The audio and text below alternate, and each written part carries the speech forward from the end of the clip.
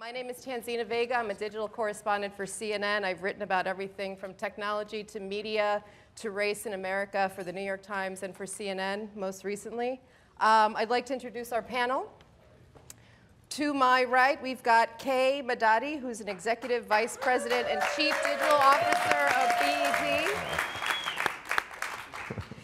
Next to Kay, we've got Alex Sepiol, who's the Senior Vice President of Original Scripted Programming at USA Network. Next up, we have William Caballero, who's a filmmaker most recently known for, and we'll probably see a clip of this, Grandpa Knows Best. and Knatokie Ford, who is a senior policy advisor for the White House Office of Science and Technology Policy. Thank you all for being here today. So when we first got here, we saw this, what they call a sizzle reel. I'm sure you all know that in the business. And it showed us some clips from the Paley archive looking at different representations of some characters that you might have seen or known before. We saw a little bit of BET's The Startup. We saw USA Mr. Robot. Um, and my personal favorite, Steve Urkel from Family Matters. Um, you know, are we getting any better at I guess, portrayals of geeks of color, which is something, which is a new thing apparently now. We're hearing a lot of that online. What was something that resonated with you all from that sizzle reel? Were there anything, any moments that stood out?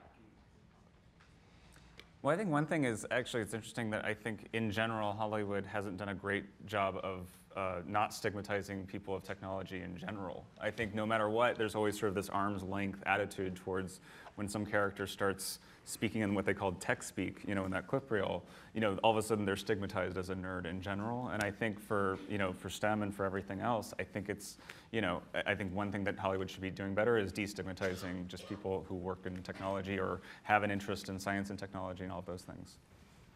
Yeah, I think this stuff is getting sexy now. Um, and uh, I don't know whether movies like The Social Network um, or, or stories of these you know, kids who drop out of college who then become millionaires or billionaires are part of that. Um, so I think you're beginning to see more of it um, on television, in film. Um, I know that we, we tackled it with the startup, which uh, we'll get into in a little bit. Um, but yeah, I think it's, it, it's now, it, geek is sexy, right? I was wondering, you know, I was talking to a friend of mine once uh, um, who was not in the media business, and uh, called me the Puerto Rican Lois Lane because I'm a reporter. and while Superman, the original Superman, was one of my favorite movies, I'm not sure how much of a connection there was at influencing my ultimate career choice. But I guess the question here is we are starting to see more portrayals of people of color who are doing, um, who are involved in tech, who are getting into this industry. How much of a connection is there between the media representation of people of color and tech and STEM on television, in film, to ultimately getting people excited about these careers. I mean, do any of you have any influences in media that might have influenced what you're doing today, or do you think that these, these images are actually helping to drive some of that? Well, well, one thing, oh, am I on? Mic check? You're on. Okay. um, well, one thing I can say that's happened, but that's been tremendously powerful is some of you all may have heard of the CSI effect, where there were uh, these series of TV shows that focused on forensic science, and sort of unintentionally, they had this really great impact on getting students interested in pursuing uh, careers in forensic science. There was an actual spike in the number of students that enrolled in programs in colleges. The public in general became fascinated with the art of uh, and the quality of data and evidence that was presented. So I think when we see that there's literally, when we have these great shows and we have these um, characters and these TV lines or these uh, plot lines that are really exciting. And I think it's a really great way of showing that there is a connection between how people see things and connect with it in fiction, but in real life it can have an impact on them and their perceptions about these fields in everyday life. Yeah, there was a young woman at, actually at the Paley Center event for Mr. Robot uh, last week that um, stood up and said that the show had inspired her to become a major in computer science, which is like, so that, I think that's that very, you know, I'm sure after Raiders of the Lost Ark, there were a lot of people that went to archaeology because they thought that was fun. so like, I think anytime you can make heroes Not as it, high paying though. Not probably not. Maybe, I don't right. um, so Knatokie, you were um, talking a little bit about the CSI effect. I'm curious if you could tell the audience a little bit about what the White House is doing specifically to sort of help connect the dots here between media representation and um, technology fields. Sure. So I am leading a really awesome and exciting project called the Image of STEM.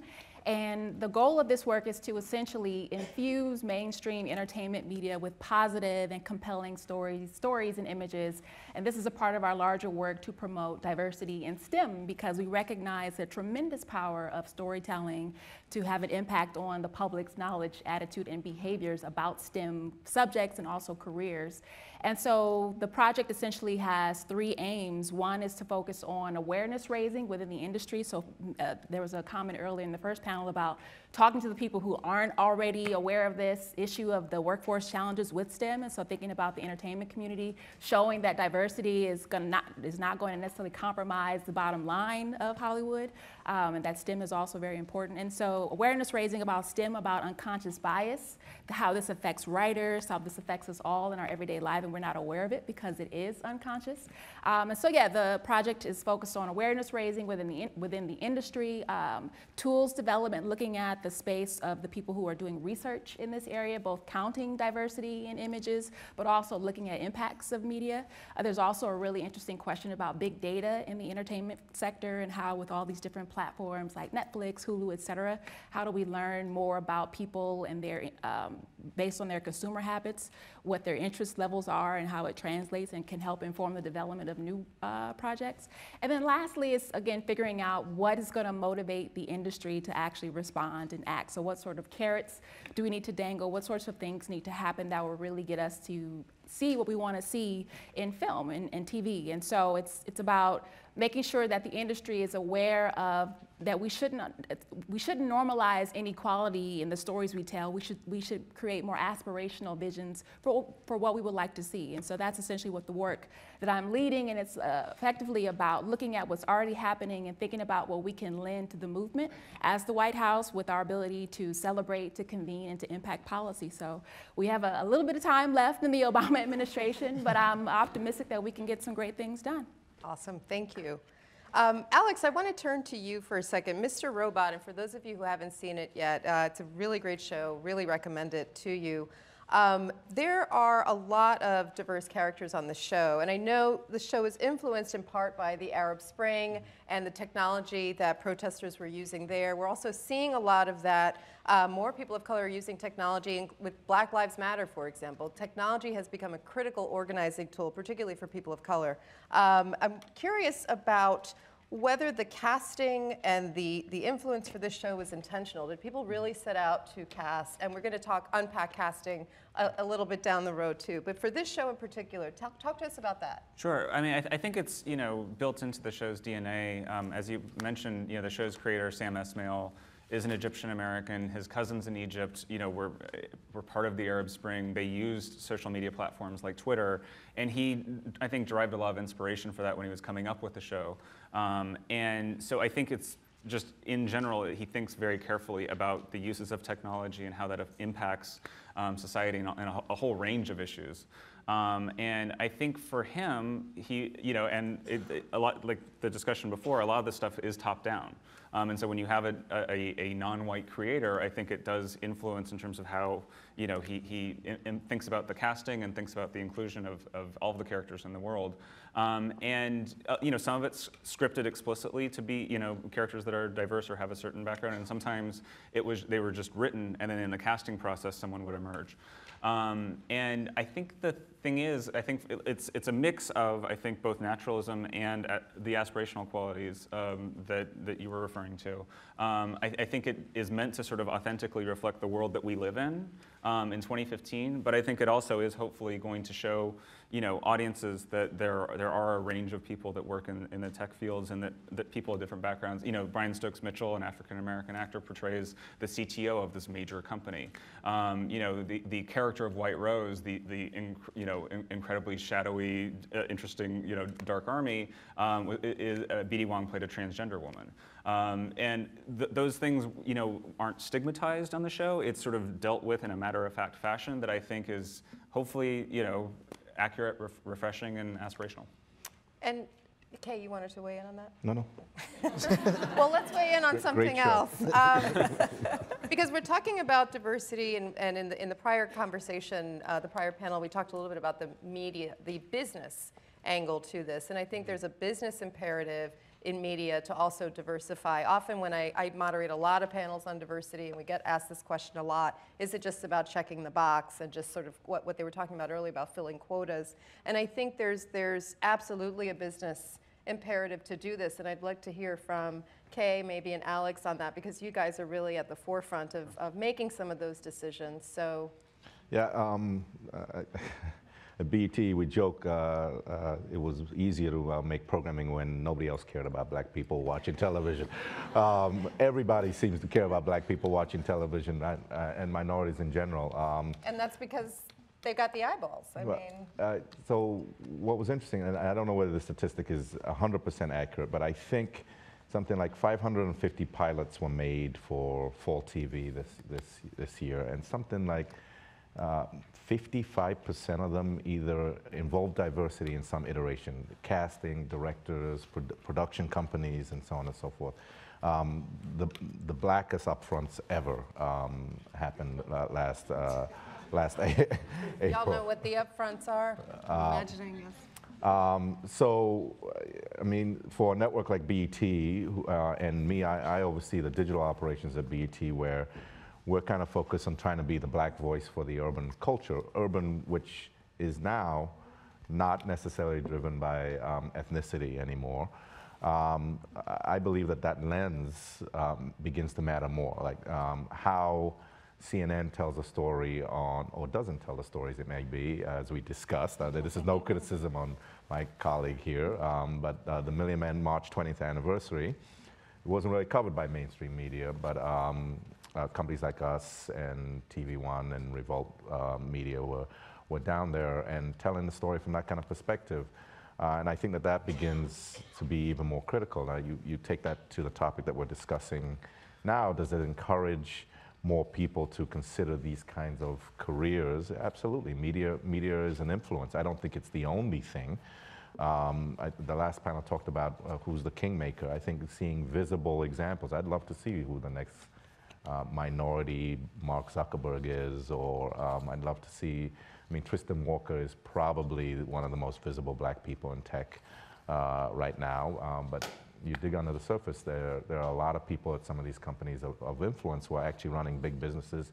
At my former company, Facebook, there's a guy named uh, uh, who could be one of the most senior engineers on Facebook's most um, important products. Uh, it's not known, but if you dig underneath the surface, I think those people also influence people getting into these kinds of careers and opportunities. And then the question is, will we end up seeing a, a movie about Aimee or, or so, these folks sort of at the, at the center of it? And I know BET had um, a film called The Startup, uh, which looked at young black and brown digital entrepreneurs who were trying to get into a, a startup business. Um, you know, Silicon Valley, as was very well discussed in the previous panel, has been notoriously undiverse, particularly when it comes to black and Latino workers. Uh, Facebook just announced this new website to encourage participation among young black and brown uh, parents of color. Twitter has made very public diversity goals going forward. You know, with movies like The Startup, um, why, you know, do you think this is the, these films are, would actually help change some of these biases against STEM careers that, that might be coming from um, the minority community, black and brown community, that might feel like they can't access? Yeah, um, well, let's start with the selfish uh, motivations. Like, good content is good content, right? Um, and stories about um, young entrepreneurs who, who make it big. I mean, it's not, it's not rocket science. Like, like um, it did very well for us. We're discussing whether or not it should become a TV series, and I think young people um, are much more attuned to the idea that you can come up with an idea and take that from nothing to something, um, and, and, and get excited around thinking, uh, thinking like that, which was effectively what the movie was about, like a, a group of kids who came up with an idea and took it from social media to being a business and, and, and growing, growing it in that way. So um, I, I think uh, um, that that is ripe content. It's, it's, it's certainly germane in today's day and age about um, when you're creating millionaires with wealth, uh, not just rich, but wealth in, in Silicon Valley. Um, and I think it continues to put pressure on, on those big companies and those venture capital firms and accelerators and incubators to, um, to look wider than they have done in the past. Let's talk a little bit Actually, about, I'm sorry. go wanted to add, I think what's also important to say is that the power of the stories, even fictional, is that they can present role models to kids. I think this was mentioned in the first panel as well, that they might not have access to otherwise in real life. And so I think the media alone won't do it, of course, but I think it, it can certainly help by helping these kids see themselves in people that look like them, that they can identify with. But also, stereotype threat is real. It can literally impact a young person's uh, interest in participating in STEM and also their ability to achieve Can you because unpack what that is, stereotype? yeah, so stereotype threat is essentially when you feel that there's a negative stereotype for your group. So if I'm a woman or I'm a person of color and my the stereotype says that I'm not supposed to be or I'm not good at math, I'm not good at science, then I will internalize that and believe that it's true and I don't I don't try to work or I might not work hard or I'm, I might not push myself or I might give up because I just don't believe that it's possible for me because this is what the the blanket stereotype is about my group and it's it's a terrible terrible thing that happens to people at various stages in their careers as well and so so that's the power of, of storytelling is to try to help overcome the, this negative thing that's in, that's literally removing the interest and killing the, the opportunities for young pe- people because they just can't overcome this idea that it's just not for them. And unfortunately, sometimes we even in our communities. And uh, there was a comment earlier about parents, the role of parents. And I have to say, I do believe parents play a role in that and it's hard for parents who don't have a background to be able to encourage their kids because they maybe they, they themselves feel intimidated by STEM and they are ascribing to or, or that stereotype. But I do think that it's important for parents to try to encourage their kids to believe in themselves that they can do anything and to push them um, to believe that with hard work, nothing comes easy for anyone. No one's born good at being good at math or science. You just have to work hard at it. And so, um, so yeah. So with all that said, I think the stories are important to help kids see themselves in these roles that maybe aren't traditionally what they have, have been envisioned in. But um, the parents also play a role in trying to help reinforce the idea that yes, you can be good at math. Yes, you can be a, a, pro, a coder or a programmer, et cetera. Yeah, I want to go, uh, go ahead. I've done something. Well, well to, to piggyback on that, I also, you know, for me, somebody who was born in the projects of Coney Island, New York City, and yet was raised in a North Carolina in a trailer behind my grandparents, uh, in my grandparents' backyard, I was, as Kay mentioned, a geek, a, a sexy geek though, I will say. uh, and my and- Hashtag sexy so hashtag yes, yes. right now, make it trend. And I played violin through public school starting in uh, in uh, 10 years old, and I never saw, even to today, I don't see that sort of representation on TV.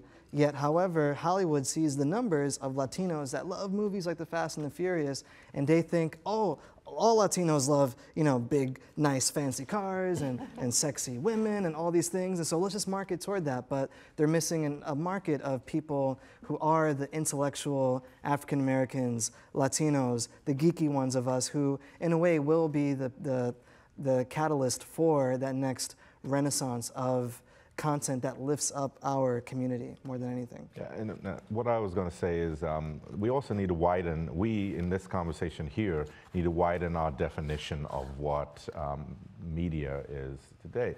Like if you're a young person, a millennial young person, your phone is probably attached to your arm as an extension of who you are. Um, uh, you are consuming just as much uh, digital video content as you are actually linear television. Um, and you actually have a different perspectives. Uh, I hate to say it, like um, Instagram is not just a visual medium for, for millennials. This is a business. They are watching people. We put on a show around five, five sisters who uh, built their Instagram followings up to 5 million each or some ridiculous number, and it is a business for them. And I think kids are much more savvy about that kind of perspective and, and leading them towards this kind of, uh, the Kardashians with their apps that are tracking to make $32 million by the end of the year or something. I mean, that people are, are looking at these kinds of opportunities and, um, and entrepreneurship in different ways. And part of what, um, I wrote this story when, when I was at the New York Times covering media, but part of what drove a lot of these shows like Scandal um, and How to Get Away with Murder to the levels of popularity were black Twitter users who were tweeting, live tweeting. This was before, and I remember looking at my Facebook and Twitter and saying, okay, there's some people I'm following that are talking about this, and no one else. And there was sort of like this divide. Now everybody's talking about it, but it was driven mostly by, oh, speaking of media, Millennials. it was driven mostly by this gentleman here in the crowd. uh, but it was driven mostly by viewers of color who were very, very engaged on social media with this with this show. And when we started looking at the numbers with Nielsen, we said, "My God, we, we definitely have a story here." So, so to your point, um, William, you I want to talk a little bit about content creation and technology. You are using a lot of this technology to create the films that you're working on. The name is Grandpa. Knows Grandpa Best. knows best. This reminded me of my abuelo, my abuelo's grandpa. Um, I want to, can you tell us just a little bit about it and maybe we have time for just a quick clip? Sure, sure. So, so basically, as I told you before, my family relocated to North Carolina, uh, even though I was born in, in New York City. However, I returned back to New York City after receiving the Gates Millennium Scholarship that paid for my college. I went to Pratt Institute and uh, later NYU. And when I came down here, even though my family had all moved down to North Carolina, I, my, my, my grandfather would, would call me and leave these absurdly long and quirky voicemail messages. and my grandfather, right now, he's an 87 year old man from born in Puerto Rico, and he would give me these, these long messages. I'd be like maybe two minutes long, like, like, and he calls me Davy. My middle name is David. He calls me Davy, not William. So he's like, Davy, don't forget, because you're needing to eat the good food and do the right thing, don't eating the junky food, don't listen to the bad music. And so I, I, had, I had saved these messages, and what I did is I was looking for the perfect medium to combine all this together, and I found it through 3D printing. And after a first short film called How You Doing Boy, voicemails from grandpa because when my grandpa picks up the phone, he says, how you doing, boy? He doesn't say hello. That's what he says. And so after a successful uh, festival run, uh, I developed it into a web series, and with the help of my, of my creative team, consisting of my wonderful wife, uh, Kate Kaisel Caballero, 3D modeler Chang Kim, 3D uh, print specialist uh, Seth Burney, and executive, co-executive producer Elaine Del Valle, I was able to put together a web series where basically users on social media, that means you and you and you, get to ask Grandpa his questions. That's actually the Twitter handle, at ask underscore grandpa. No D in grandpa, G R A N P A. They get to ask grandpa questions, and if I like it, I actually call him up and I ask him the questions, and I edit them into two minute shorts. I, I want to say I brought a special guest, not just grandpa, I brought superhero grandpa, which is one of the 30, the 30 poses of grandpa that I created for this web series where I just call him up and I let him say whatever the hell he wants on these subjects, and I later edit it down. So what you're hearing is not scripted comedy, but I, I feel that it's a way for me to not only preserve my grandfather and preserve his memory of who he is, but also to, to acquire a project that to me signifies, uh, symbolizes the universality of the grandfather archetype. Because what I find so rewarding is when African Americans, Asians, Jewish people, Arabs, they come up to me after seeing grandpa and they say, your grandpa is just like my grandpa. Oh my God. My grandpa says the same thing to me. He does this, this, and this. And I feel like that's, th- yeah, he, he knows. He, he's like, I don't think I'm big celebrity, but uh, okay. You know, I, I don't have the big money, but maybe. So, so, so again, it's, it's my role as a content creator to not just tell stories that feature Latinos, but tell stories that in a way will embrace our culture and enlighten empower and express the viewer who we are. So I like to tell big stories using small figures. Fabulous. I, um,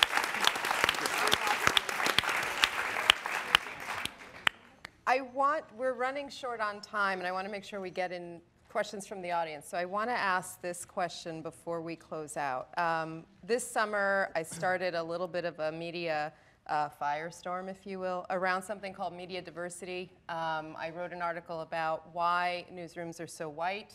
Um, the lack of diversity in news media has been persistent uh, for decades, and I wanted to unpack that. It became a 72-hour Twitter chat, which I was trying to manage while I was at work. Uh, was very, very challenging, but this really started a conversation that continues to this day online. So if anyone ever wants to follow it, just hashtag media diversity, and we're always posting jobs and um, comments around that.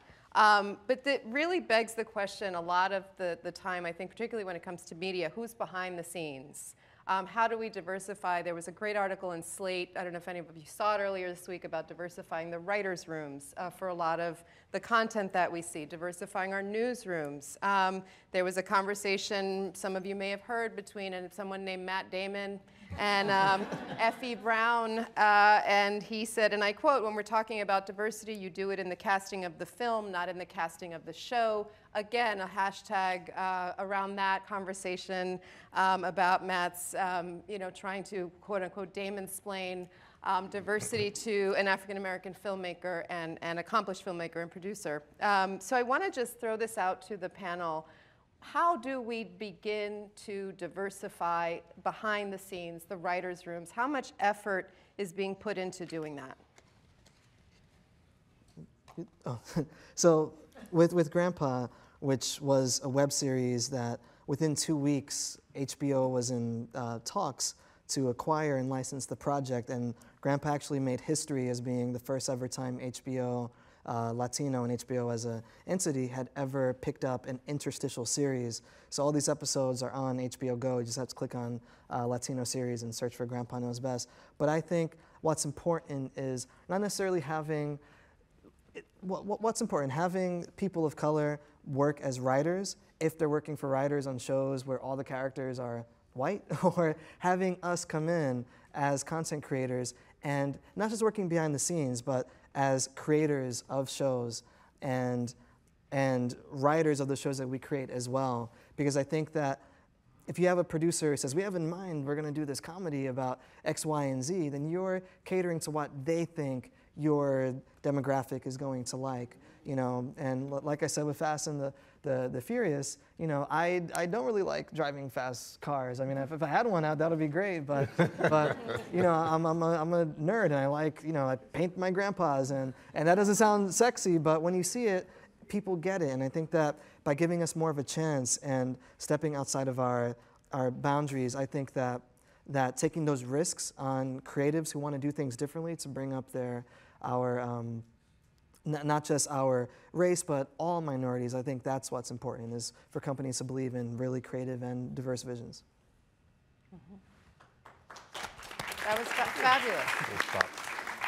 We have some time for questions from the audience. I see one right there, gentleman in the back. Cool. Thank you, guys. Um, directed towards Kay, uh, you have such an interesting background coming from Facebook to BET. Um, it's no doubt that media is such a it's such a powerful medium. Uh, I formerly worked at CAA. Um, it's interesting to see people try to push to get like the diversity focus, leveraging between the bridge between media and entertainment, uh, media and technology, but it keeps falling flat. Like what you're doing, you have such a unique background. How do we get more Kays involved on the like the entertainment side, leveraging um, their technology experience, especially when entertainment's such an archaic, like kind of broken model? Yeah. I, I, always felt like a, uh, a, little bit of a fish out of water at, at, um, at, at Facebook in that um, most of the people there are engineers. Like, I, I, wouldn't know how to code to save my life. Um, and the team that I ran was uh, partnership oriented with the media industry, and so I got good visibility into how this business is, is changing and working at the most senior levels across major media companies. So the opportunity to actually, this is what I believe, and, and, this is what I told everyone about the switch, because I think it surprised a few people. Um, I don't think television companies are going away. I don't think media companies are, are going away. I do think that they will change. Um, if you paid attention to YouTube's announcement yesterday about um, YouTube Red, mm -hmm. it's going to significantly change your consumption habits on YouTube starting October 28th when all of the good stuff gets put behind a subscription wall and you need to make up your mind whether or not you want to pay $10 a month to, to see it.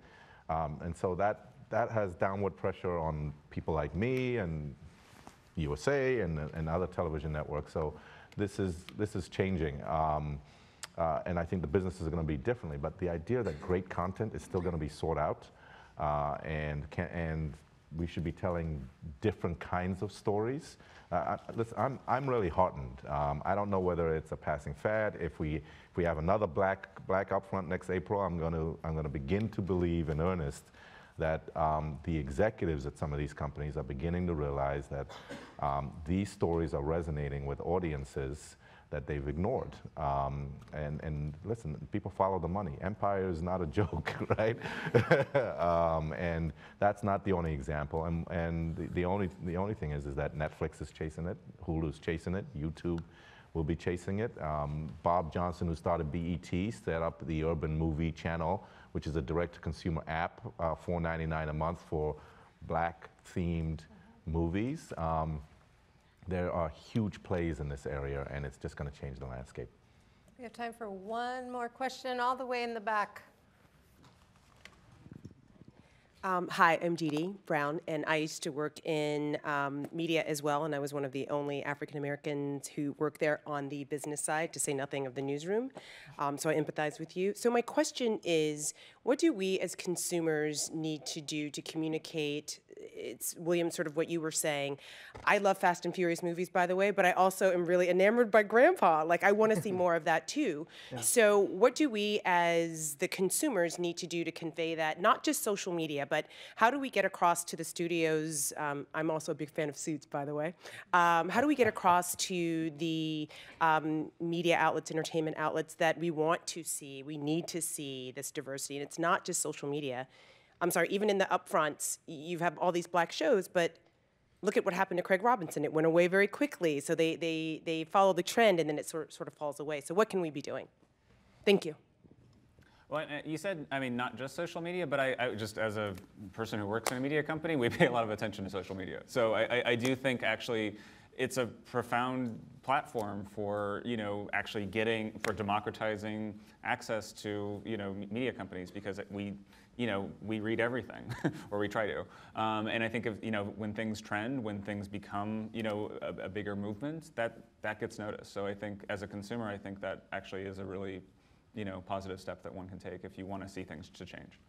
Consumers are already voting. Um, uh, your eyeballs are moving from, from linear to digital. Um, you're seeking out on-demand um, content more and more. Uh, so um, your thumbs or your, your fingertips as they type on keyboards or on mobile uh, are actually showing all of us that we have to work harder at actually telling you the kinds of stories that you want um, and delivering those to you on the platforms that you want whenever you want. Um, which is this is a big change. Like uh, CBS has been what the number one network on television for 10 years straight or something like that. Um, a hit on CBS today uh, would not might have canceled uh, the show five years ago. like I mean, so I, I think like this move where the, the, the consumer or the audience is empowered uh, is only going to get stronger. Can, I try? Yeah, Yeah, yeah. sure. go ahead. I, Fast and the Furious is great, first of all. I just think that we need more of a, of a balance, like, as, as you were saying, because I think that when we are served as a community so much icing, like let's give you the sweet stuff, the stuff that's flashy, the stuff that's very much like, like on the outside, very superficial. It makes it seem that as a community, that's all that we want, when in reality, we also need the cake, we need the substance too, and we need to make sure that we're not just entertaining Yeah. the masses. We need to empower the masses too with the work that we both watch and the work that we request to watch. So I'm not sure how we do it, but I think that maybe it starts maybe at the media, uh, the high levels by by knowing that we are diverse. Not all Latinos like salsa, but many do. But still, we're very we're we're very unique, and with that. I think it also starts with, with us just requesting those things and, and supporting those projects. And I think also just to add in, when you look at shows like Awkward Black Girl by Issa Rae, I mean, that was a web series that Yeah. she's now inking deals mm-hmm. left and right. So she's cross platforms, you know, she's doing a tremendous amount of work, and it started with a, a web series that had representations of people of color that were not sort of, you know, cookie cutter representations. And it spoke to and, and touched a lot of people. So I think that's an example of something that really went from the web and now is moving beyond, beyond that. Um, I want to thank our panel so much. This was really great.